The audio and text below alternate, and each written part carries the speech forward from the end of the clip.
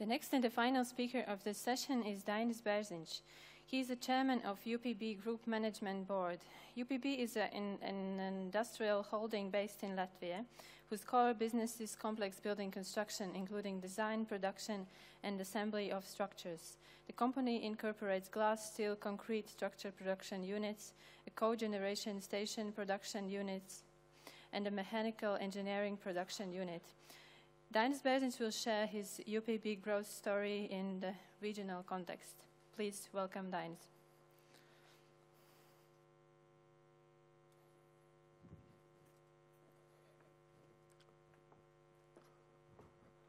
She's not Dainis. Um, so, hello to everybody. Um, let's get uh, first things sorted. So, I'm not an architect, and I will try to stand the whole presentation. So, before we start, I would like to ask you a question how many of you are part of small organization or team? So small, I, think, is uh, up to 10 or 12 people. Please raise your hands. Okay, quite a few, and as expected in such auditorium.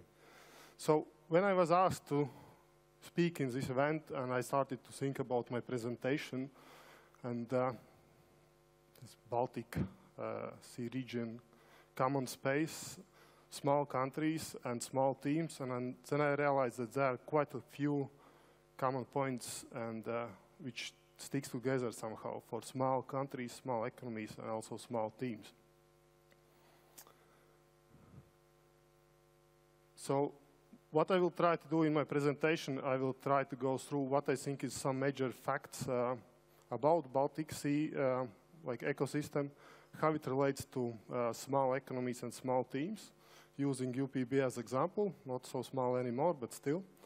And also I will try to look a little bit on bigger uh, challenge for construction industry and actually how this challenge could be opportunity for smaller economies, smaller companies, especially around Baltic Sea. So before we go to the next slide, I would also like to ask who of you consider yourself as rich or high income people, please raise your hand. Well, surprisingly nobody. But uh, if you compare to Mark Zuckerberg, most likely not. But if you compare to the rest of all, then actually, if you look on the map, the green one is better. So this is by GDP per person. All the countries around Baltic states actually are among top 50 countries in the world by GDP by person. And if I would look by income here, actually I would get that, uh, I would bet that everyone here is among 10% of highest earning people on planet Earth. If, at least if I look at the ticket prices for this event. So, how UPB fits in the picture in this high income region. So we started in 1991 as architect's office, actually, with three people, not me at the time. But now we have grown to more than 1,800 people, around 200 million in turnover. It's quite a big growth, and I think it's partly was possible because we are located here in this region, in the small economies. Because what small economies and like small local markets like Latvian market uh, challenges you, it's very, very small market. So what you have to do, you have to go outside your market, your local market very early. So, and what's special about Baltic Sea region in general? Why, why it's unique in world? So if you look on how much of each country's GDP or gross domestic product is generated by export activities by foreign trade. So Baltic Sea region is considered as most open economies in the world. So there's no other region which is so much tra foreign trade going on within the region and also outside. If you look where the trade flows go, so a lot of arrows pointing to the top five destinations of each countries. Unsurprisingly, for Baltic states, most of uh, Exports go to the biggest neighbors, Nordic countries, Germany, and also to UK. for bigger economies like uh, Nordics, it goes also to US, uh, so and other countries, but uh, Baltic countries are not on the top five list, but they, they still are on the list and they are important. So this whole region is working together a lot. It, there should be a picture actually. Yes, it is. So if we also relate how we as company are, uh, are doing in this environment, so we, this is our data, 66% of our sales are generated abroad. There are export destinations, but mostly, again, it's Nordic countries. Nordic countries, Germany, UK, those are the biggest our markets. So we are quite well taking uh, part of like global or at least regional supply chains for construction market in Baltic Sea region. Of course, geographical location is only one precondition for us to grow. Second one was more related to this small team principle I was talking earlier. So this is how we nowadays see our business, and this is what we call like synergy cube. So in general, what we see here is our products, glaze, steel, concrete, machinery, CHPs, and what kind of all services we have like engineering, design, production, delivery, construction, and also service. So, and what we are trying to do, already quite a long time, we are always trying to combine those products and services and to find something new, something with more added value.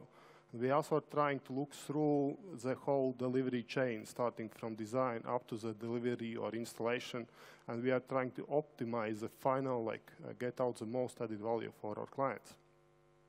And that's partly because, possibly because of this small regional markets. Because if we would operate in the US, we could just specialize on one part of it, get big, and even don't, we would not even be forced to try to find the synergy and to try to optimize the whole added value in this chain.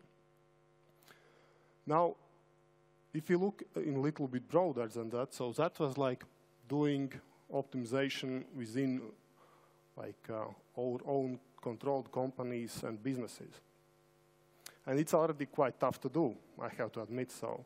Try to put uh, together mechanical engineering engineers and engineers for facades and ask to develop new product and it's, uh, you need to push a little bit sometimes.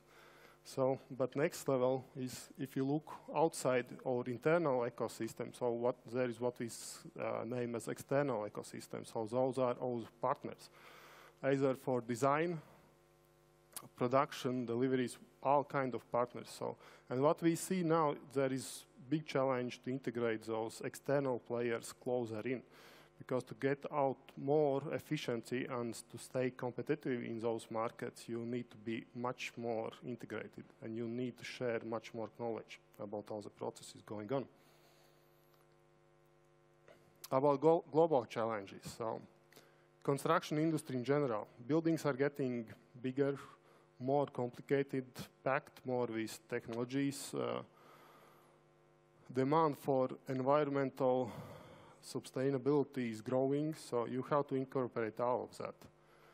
But when we look at the building site, we can find such sites, and it kind of demonstrates that the building processes themselves haven't grown uh, a lot so actually McKinsey, um, consulting company in 2017 published a study about construction industry productivity and what they found that there is huge gap uh, in speed of growth for general manufacturing industry and for construction industry. Actually, in Europe and US, construction industry productivity is stalled. It's not growing. Some countries are, some are going down, but on average, it's zero. And if we compare this to automotive industry, it's a little bit different side. And the difference between those two pictures actually per year is 1.6 trillion. So a few days ago, Latvian government announced new and biggest uh, ever Latvian uh, budget of 10 billion. So that's 160 times that each year. And I kind of like of uh, auto automotive industry, and I would like to ask another question, final one. What's common for all those cars? Maybe somebody knows.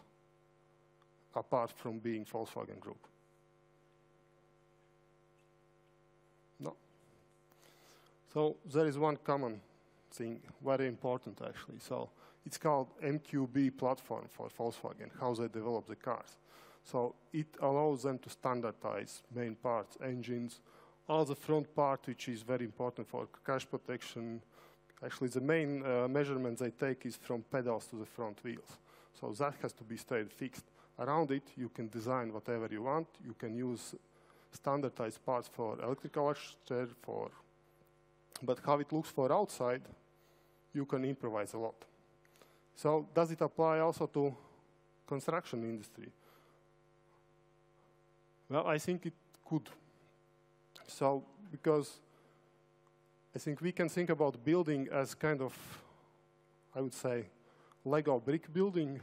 So it can look outside from outside in different ways, different shapes. Uh, that will come, and it's coming from architects, what you would like to show, what is uh, intended purpose for the building. But actually, under the skin, the whole construction is big mathematical optimization task, how you build it, and very efficient way how to do it by using standardized modules. Bigger, smaller, more integrated, less integrated, but that's a way how you can increase the productivity. So,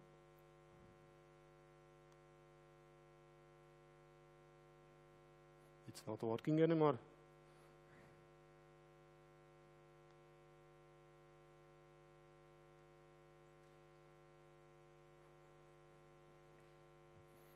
That's it.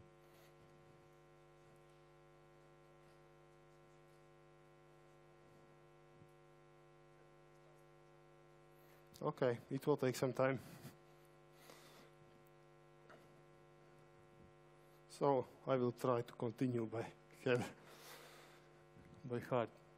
So what I wanted to talk next, actually in the same study McKinsey did, they also rated um, a lot of, uh, or the main contributors, how construction industry, and I understand construction industry, everything starting from first design to actually building the building, how it can become more effective and which parts are the most, uh, uh, most important.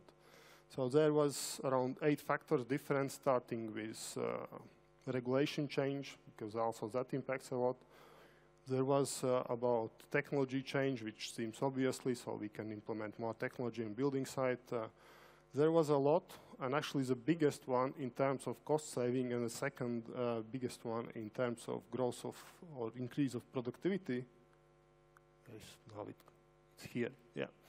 So it's uh, here. So they, they put basically all the things we can do to close the gap between general manufacturing industry. And as you can see, one of the main factors actually is design and engineering. So there is the biggest gains in cost efficiency and the second biggest in terms of growth of productivity. Because obviously there is old saying, so spend 10, uh, spend one more hour on planning and you will save 10 at execution. So it works, uh, it works also here. How we apply this in practice. So we have like two R&D and development uh, uh, like main uh, passes we are taking, and there are two goals. So one is what we call digitalization. So this is all about building tools for doing things more efficient. And there is second, which we called here, it's innovative products, but mostly it's actually off-site production or produ construction as production. And what I mean, so by each of those, here we have three parts. Uh, one is what we called ERP systems, that's actually how we communicate between different uh, productions, uh, uh, different stages of product realization, starting with design, logistics, production, whatever. So how basically we organize our activities. Second part is uh, what we, when we build in technology either in work, in uh, work sites or on factories. For example, there are a lot of uh, noise about augmented reality and such stuff. We use this for to assist our uh, welders, automatic uh, uh, workers on a welding machine for rebars. So basically they have TV, where drawings are uploaded automatically and they can see if they have put rebar in correct place or not. If it's not in correct place, it's shown red on the screen next to them. So a lot of tools going there, but the biggest one, and I think which is the most important, we are investing quite a lot to automate design process itself, especially our part about engineering. So our goal for next two years actually is cut engineering work uh, amount done by people on half for the same project. So what we are doing did last year, in two years, we would like to spend one half of the engineering hours for the project. Second part, uh, what we are trying to do, we are looking more for, I would say, modular production or offsite production, offsite construction. So basically building doing more work in factories and then shipping re more ready elements to the site. It saves time. You can um, implement other technologies much better because conditions, for example, we had simple aluminium uh, door block with 18 different wires going in it. We cou couldn't fit them physically in it for different functions. So we are starting to work with wireless, but still to implement all this technology in open field work site, it's very hard and the quality problems can be very huge. So those textures is just to show for this is from presentation about our concrete products to clients. So you can be interested in textures, but I'm actually looking to the element on the right corner from your side, which is actually whole concrete element sandwich with uh, window already built in. Basically, it's sent to the site assembled, and that's it. You do a little bit inside of painting and forget about it. So, to summarize, I think that the Baltic Sea region offers us unique environment because of its openness. There is climate uh, conditions as well. So we have to work with temperatures from plus 30 to minus 30, and it puts a lot of stress on construction process, on construction materials. Economies around Baltic Sea region is also doing well, and it also allows us to implement new technologies, which later can be applied elsewhere. And this also shows us example how we can integrate in more global supply chains and come up with new solutions. So I think uh, it's opportunities, this change in construction industry is opportunity for us around Baltic Sea and also here in Baltic states to develop new products, new services, which is later being exportable to other countries as well outside the Baltic Sea region. So thank you.